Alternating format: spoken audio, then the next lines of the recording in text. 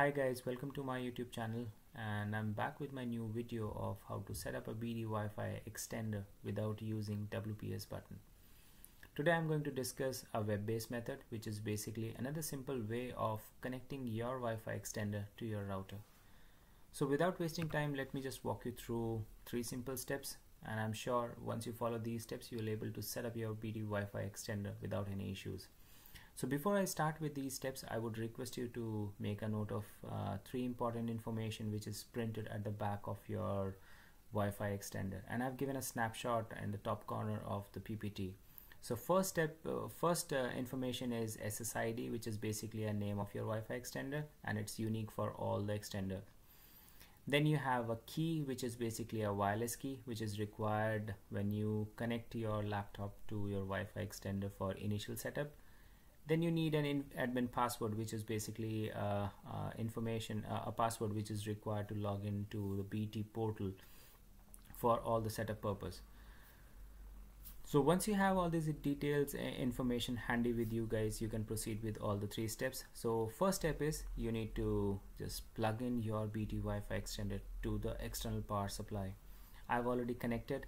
Remember guys once you uh, plug your Wi-Fi extender. You need to wait for 10 seconds so that it can boot properly. And uh, if you see uh, on the front side of your uh, Wi-Fi extender you'll you'll see the light which is flashing slowly and the color of the light is red. So that means uh, your BT Wi-Fi extender is ready to ready to connect to your laptop.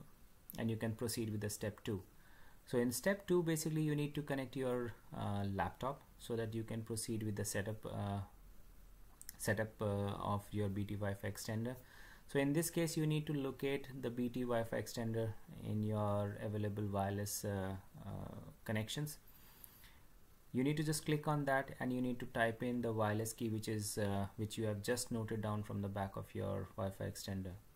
So once that is done and your laptop is connected to your Wi-Fi extender you need to proceed with the step 3 which is basically doing all the setups which is required through an internet explorer. So you need to just open an internet explorer.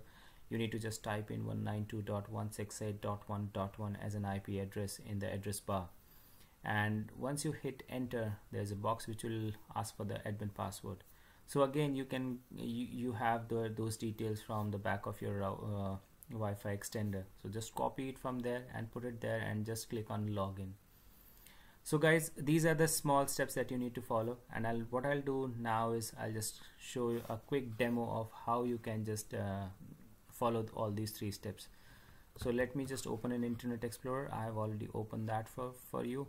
And before that I need to just connect my BT Wi-Fi. So if you look at this this is my actual BT connection. And this is my BT Wi-Fi extender and hyphen CT9 this number is different for all Wi-Fi extender. So I need to just click on that. So it's asking for the key. I'm just typing the wireless key which is mentioned at the back of my Wi-Fi extender.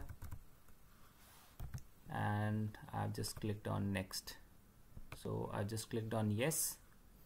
And right now it's connecting to my Wi-Fi extender. So it's connected. So now uh, first two step and now let's proceed with our third step. So I've already opened the Internet Explorer and I quickly type in the IP address that is 192.168.1.1 which is basically our default IP address for BT Wi-Fi extender. So as soon as you hit enter it will ask for the admin password. I've just copied that and let me just click on login. And once you click on login it will just list down all the available Wi-Fi network so you need to just select your Wi-Fi network. So I've just selected mine.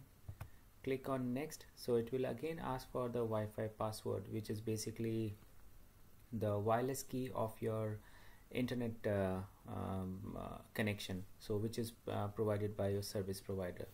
So let me just quickly type in my password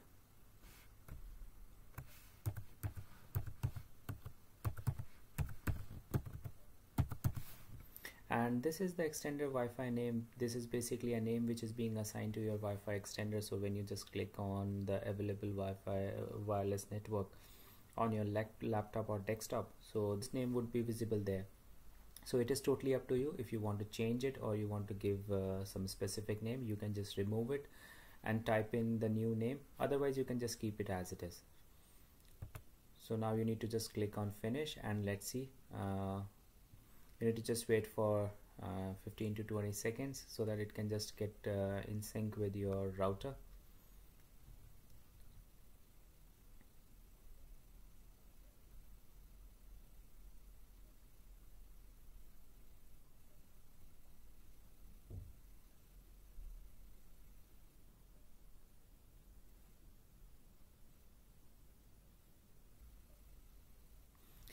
and yes it's connected now. It says congratulations your network is now extended successfully. So extended wireless network name has been changed to ext hyphen my bt home hub. And now as per the message you have to just reconnect your Wi-Fi uh, extender. So now let me just click on my available wireless network. So this was the actual uh, Wi-Fi uh, network to which we are initially connected but now this name has been changed. So you need to just, uh,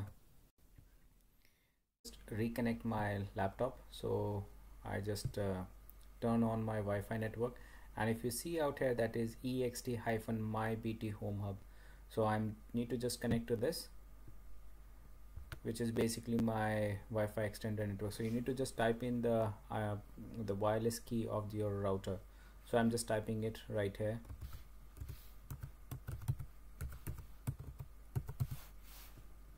click next and then click on yes. So now it's connected. Uh, but the internet is working on my laptop or not. So I'm just opening a Bing search engine which from Microsoft. And if you can see a very good image which is being displayed in front of me. So that shows my internet is working absolutely fine.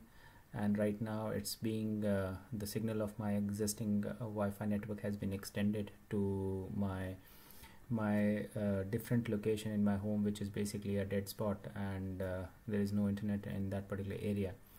So finally guys uh, that comes to an end of my video and thank you very much for watching uh, my video and uh, I would request that in case if you like my video then please subscribe to my channel because that will help me in growing my channel. And apart from that uh, in case if you have any questions any any concerns or any issues that you have faced during uh, during uh, setting up your BT Wi-Fi extender then please do mention all those details uh, in the comment section and definitely I'm going to come back to you. And in case if you have any suggestion then please uh, don't forget to mention that in the comment section. Thank you once again. Thank you very much. Bye bye and